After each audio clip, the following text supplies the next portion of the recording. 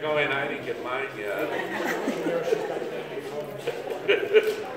Good morning. Good morning. Christ is risen. He is risen indeed. It is wonderful to be with you this morning.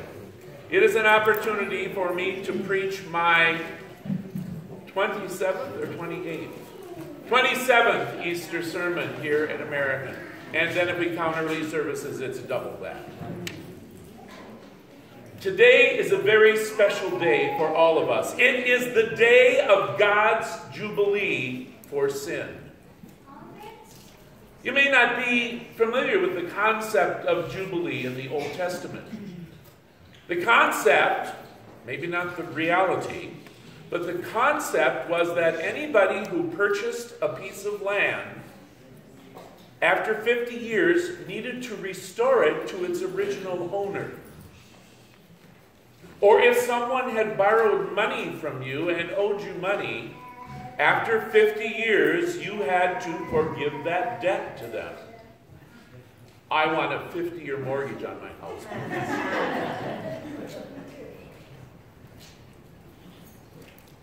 the reality was that it was not quite as good as it sounded. There was a purpose for Jubilee.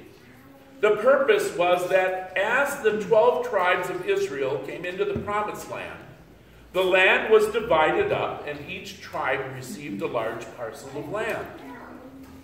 So if you sold a parcel of land in your tribe's area to the member of another tribe, in order to keep the balance of the community, that piece of land had to be restored to its original tribal ownership. Otherwise, you could have a wealthy tribe completely taking over all the land of a less wealthy tribe, or an agrarian tribe who had great farmlands taking over the lands of somebody who had mountainous and rocky soil to work with. So the reality wasn't quite as good as it sounds, because people did not always celebrate Jubilee in the Hebrew faith as one of the rules of how they lived together in community. So there were problems and faults with it. But today is the Jubilee of God for sin. And God's Jubilee is also about forgiveness. The difference is that God's works. God doesn't say, Oh, I don't think I'm going to give that to you this year. I think maybe I'm going to forget your baptism. I'm going to not be present in Holy Communion. I'm, I, I'm just going to stay away and keep all that grace of mine for myself. God never says that. God is always prepared, always prepared when we come in the name of Jesus Christ to celebrate the forgiveness of sin with us and to celebrate the promise of life with us and to celebrate, even more importantly, salvation and resurrection with us. Every time we return, having family baptized, coming to receive Holy Communion, coming to Easter worship services, coming to regular church. Every time we come, even in the face of our mirror on a bathroom morning, before we're getting ready to go to work, we can say to ourselves, Today is the day God has made. Let me rejoice and be glad in it because today God has forgiven my sin in Jesus Christ.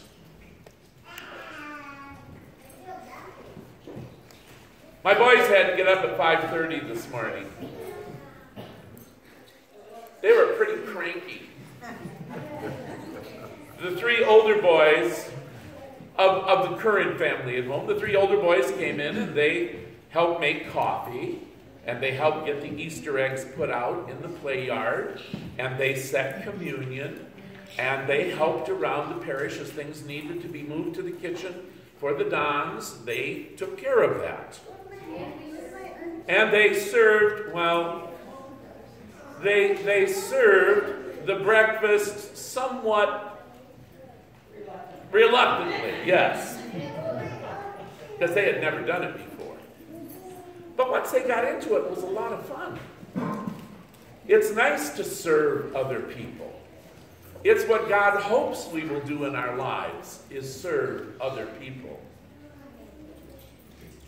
So Paul spends time in the early church writing his epistles, his letters to the early church, attempting to explain the significance of Jesus Christ to the world.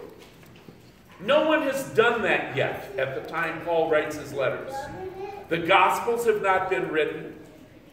Only Paul's letters have been written and we know collected.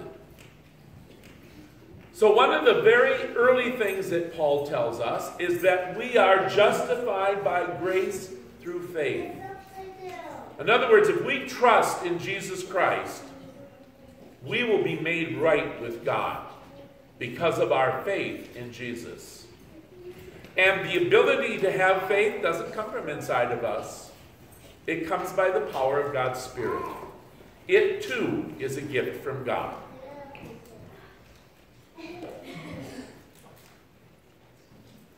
The other part of this is that God sent his only son to die on a cross for us. He loves us so much that he sent Christ to die on a cross for us, to suffer for our sin and brokenness. And then that, that suffering fulfilled God's judgment on his creation, so that Jesus bore all of that judgment on his shoulders. And so Paul writes in the book of Romans, nothing can, nothing, I want you to hear that. Nothing can separate us from the love of God which is in Christ, Christ Jesus our Lord. Nothing. Name it, it cannot separate you from the love of God in Jesus Christ. Not sickness. I think the only thing I know that might separate you is winning the lotto. Um, uh, but not sickness, not tragedy, not death, not powers and principalities, not, not an asteroid coming in from space and destroying the earth. None of that can separate us from the love of God in Christ Jesus our Lord because of the power of the resurrection. This is the event of events in the world. That's why we come and we celebrate today. It's why we come with great joy. You know, we always think, oh no, Christmas is that time.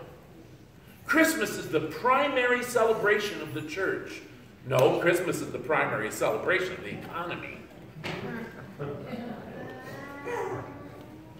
Easter is the primary celebration of the church. It has primacy over every other celebration we gather for. Because it is in Easter that the living presence of, Christ is made, he's made present in the water of holy baptism. He's made present in the bread and wine of Holy Communion.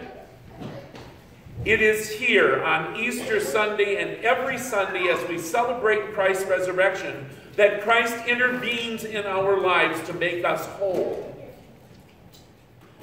It is here that we find courage to live lives that are not perfect, not always easy. But we can do that by faith. We can do that trusting God and believing in Jesus Christ. We, you know, life throws a lot of things our way. But we don't have to look very far to realize all the things that can happen in a short period of time in our lives. Uh oh, I think the candy got to Patchy.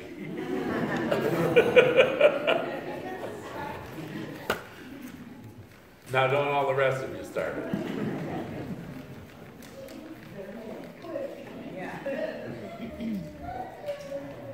I pray you will choose to be in church celebrating the resurrection weekly. Every single week. And if you don't find the resurrection being celebrated where you're chosen to go to church, don't go there. Find a church where the resurrection is celebrated all of the time as the people of God gather around the sacrament of the altar and the sacrament of the font, around the people of God, the body of Christ, and the power of the presence of Jesus Christ who was crucified on the cross and raised from the dead, so that you and I might know the greatest joy life has to offer the certainty of always being with God. In the name of Jesus Christ, amen.